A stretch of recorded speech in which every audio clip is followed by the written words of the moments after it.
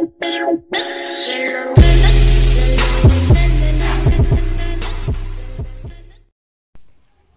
guys! It's Sai. Welcome to my channel. And for today's video and gagawin natin ngayon ay ang cooking show. Yes, I do the cooking. Yes, I do. Yes, cooking show. Let's go!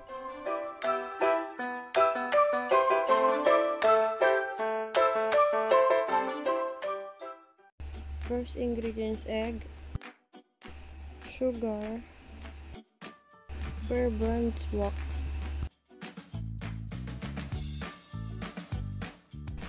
kalamansi,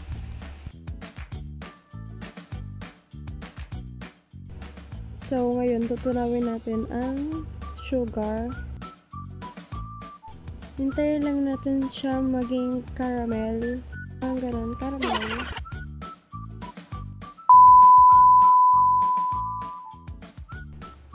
Sa naman tayo. I-scramble natin yung egg.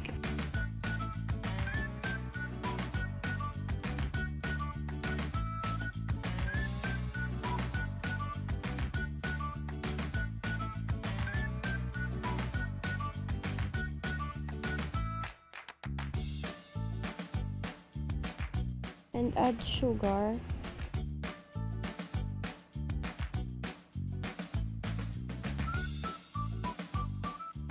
Then, i-mix ulit natin yung egg with sugar.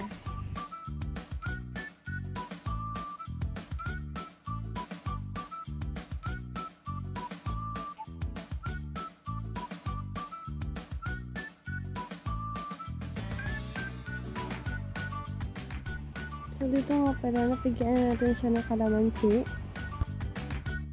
So, next is Bear Brand Swak.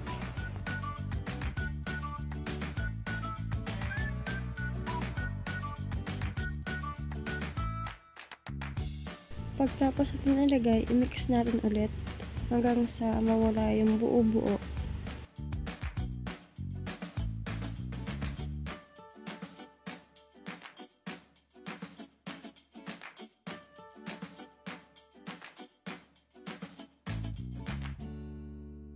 Lagay tayo ng half of water. Sunod ay sasalain natin.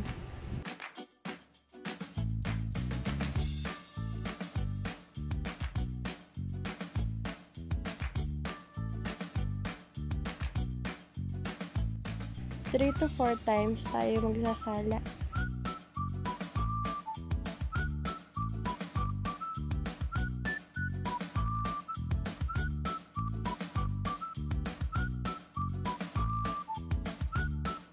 Pagtapos natin isala, ilagay na natin sa lalagyan.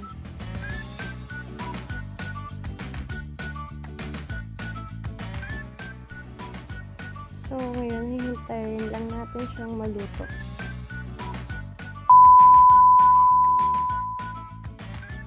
Ito na ang ating finished product, ang leche flan. Nasuwak na suwak sa bisa.